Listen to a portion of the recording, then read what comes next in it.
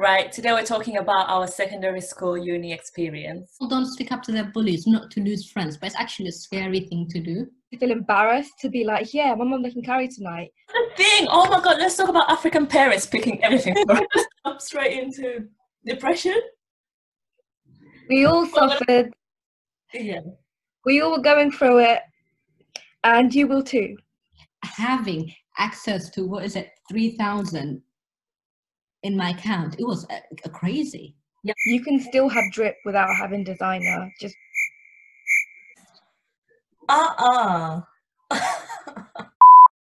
get so anxious that like I can't like, I just used to walk out like 20 minutes into the exam because I just couldn't handle For assignments, if you're a very disciplined person.